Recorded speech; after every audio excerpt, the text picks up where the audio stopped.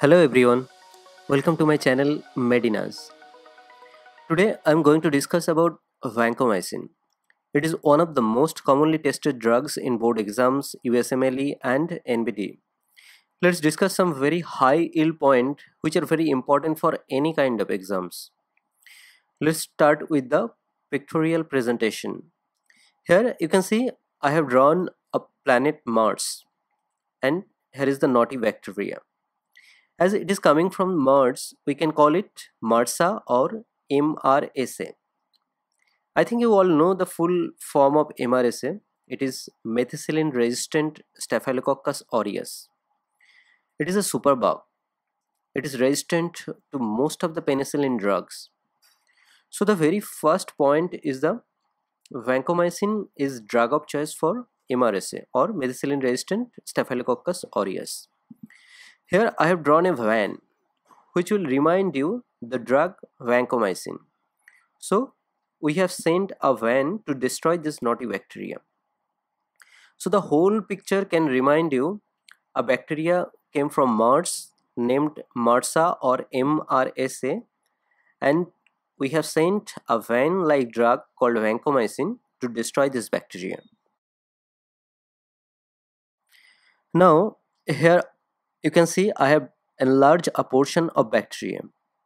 Before going to mechanism of action, here you can see I have put a positive sign or plus sign because vancomycin only acts on gram-positive bacteria. Okay, I am repeating again. Vancomycin only acts on gram-positive bacteria. Now let's discuss very briefly about the structure of gram-positive bacteria. This is cytosol which is surrounded by a lipid bilayer membrane or you can call cell membrane and just outside the cell membrane there is cell wall. Cell wall is made up of peptidoglycan. Here you can see the peptidoglycan layer. The structural unit of peptidoglycan is the NAM-NAG unit.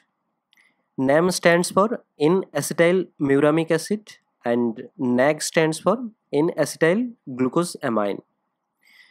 Every NAM-NAG unit has D-alanine-D-alanine terminus which is nothing but amino acid side chain.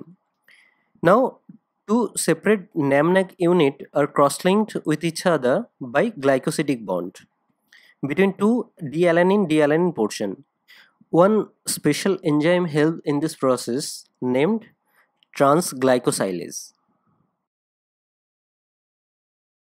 Here you can see the transglycosylase enzyme which can capture and cross-link two separate NAMNAG unit. Now if you give vancomycin, what is no normally does, it firmly attached with the D-Ala-D-Ala terminus so transglycosylase enzyme unable to attach or cross-link these two D-Ala-D-Ala terminus. Here you can see. That's how vancomycin inhibit the bacterial cell wall synthesis and eventually cell wall get damaged or destroyed. So what would be the consequences? And what is the importance of bacterial cell wall? Well, the bacterial intercellular material is hyperosmolar in nature, which means it can readily absorb water from the external environment. So there is high osmotic pressure inside the cell and cell membrane is too delicate to withhold this pressure. But cell wall is thick and rigid. So it can withhold this increasing osmotic pressure. So cell wall acts like a protective barrier just outside the bacterial cell membrane. Now if the cell wall get damaged the increasing osmotic pressure eventually can lead to osmotic burst of the bacterial cell and bacteria will die. That is how vancomycin kill the bacteria. So vancomycin is a bactericidal antibiotic because it kills the bacteria. Now let's discuss about route of administration. Vancomycin is mostly as administered through intravenous route because it is poorly absorbed from GIT. So it is very logical that as it is not absorbed well from GIT, it must be effective on ga gastrointestinal bacteria or ga gastrointestinal flora. Here I have drawn GIT. Look at the expression. It is happy because it is well protected by vancomycin. So another important point about vancomycin is it is used orally for the treatment of pseudomembranous colitis. It is the second line drug for pseudomembranous colitis. So what is the first line drug or drug of choice? If you think metronidazole, then you are right.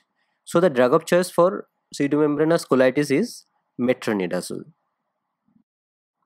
But I would like to share an interesting point which you should remember as an excellent student. Actually, vancomycin is more effective or more potent than metronidazole in the treatment of pseudomembranous colitis. Still, it is not commonly used because of two reasons. First is cost effectiveness. Metronidazole is more cheaper than vancomycin. And second reason is because of emergence of vancomycin resistant enterococci. That is why metronidazole had been preferred as an initial therapy over the last two decades. But remember, the, in severe case, vancomycin is the first line drug or drug of choice. Vancomycin is also used to treat pneumonia, osteomyelitis, and skin and skin structure infection, which is also called SSSI. Now, come to the side effects or adverse reaction. Four side effects you should remember. First, thrombophlebitis. Vancomycin is irritating to tissue, resulting in phlebitis and local pain at the site of injection. Next is ototoxicity and nephrotoxicity. This situation can be worse if it is administered with another ototoxic or nephrotoxic drug like aminoglycosides. But this nephrotoxicity and ototoxicity can be prevented by maintaining serum concentration less than 60 microgram per ml. Next is very high yield fact. If you give vancomycin infusion very fast, it can cause generalized flashing or redness of skin. It is due to non-specific mast cell degranulation. This situation is called red man syndrome.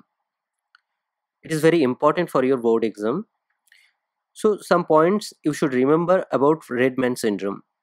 First, it occurs due to first infusion of vancomycin. Second, it is non-specific degranulation of mast cell. This situation can be prevented by prolonging the infusion period to 1 to 2 hours or pre-treatment antihistaminics uh, like diphenhydramine you can use. Now few words about vancomycin resistance. Here this is NAMNAG unit with the ALA DALA side chain. As I have already mentioned that vancomycin have the affinity with this D-ALA D-ALA portion.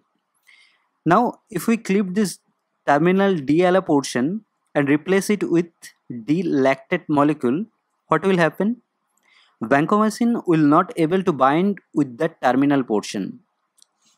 Some staphylococci and enterococci bacteria do the exact same thing and acquired resistance against vancomycin. Another mechanism is bacteria can alter cell wall metabolism and produce more and more cell wall materials which eventually produce a thick cell wall barrier. So vancomycin unable to reach this site of action.